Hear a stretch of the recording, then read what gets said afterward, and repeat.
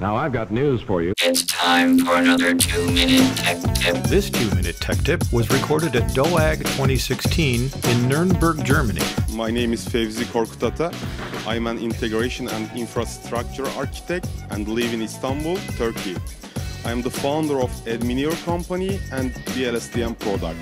The clock starts now. What is JMX and WebLogic MBean objects? JMX is a Java management extension, defines a standard infrastructure to manage a device from Java programs, and also decouples the managed device from management tools. How about MBeans?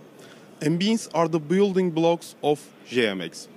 Oracle WebLogic is a powerful application server and provides high-level solution with its JMX MBean server. So it is very important to understand WebLogic MBean objects for monitoring WebLogic domain resources. Let's say you are comfortable about WebLogic essentials, but if you want to learn advanced WebLogic monitoring, you need to learn about WebLogic MBeans.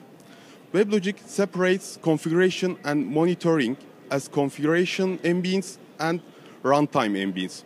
Domain runtime and server runtime are runtime MBeans domain config and server config are configuration MBeans.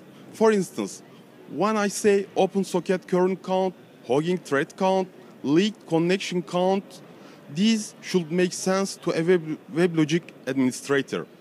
There are various methods to monitor WebLogic MBean objects. You can visualize MBean objects by using WebLogic Dashboard Console, Enterprise Manager, MBean Browser, Java Mission Control, JVisualVM, and WLSDM, which is a WebLogic console extension runs under WebLogic console. Finally, I'm recommending to WebLogic community always keep an eye and monitor your WebLogic domain MBeans trends.